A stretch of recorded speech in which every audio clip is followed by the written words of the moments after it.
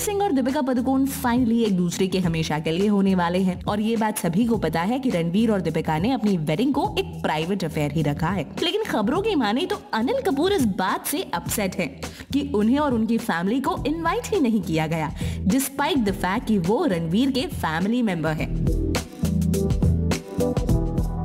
दीपिका और रणवीर ने डिसाइड किया कि वो अपनी वेडिंग में सिर्फ़ कुछ चुनिंदा लोगों को ही इनविटेशन भेजेंगे, जिसमें से एक्सटेंडेड फैमिली मेंबर्स को भी न्योता नहीं दिया गया था। और इसी बात से अनिल कपूर अब खफा है, क्योंकि रणवीर के ग्रैंडफादर और सोनम कपूर की ग्रैंड मदर सिबलिंग्स थे, जिस हिसाब से कपूर फैमिली और रणवीर सिंह रिश्तेदार होते हैं। लेकिन इसके बावजूद उन्हें इन्विटेशन नहीं भेजा गया। जबकि इसके उलट रणवीर सिंह सोनम कपूर की वेडिंग का एक इम्पोर्टेंट हिस्सा थे और उनके डांसिंग वीडियो काफ़ी हद तक वायरल हुए थे। आपको क्या लगता है? कमेंट कीजिए और ऐसी ही खबरों के लिए सब्सक्राइब करें हमारा चैनल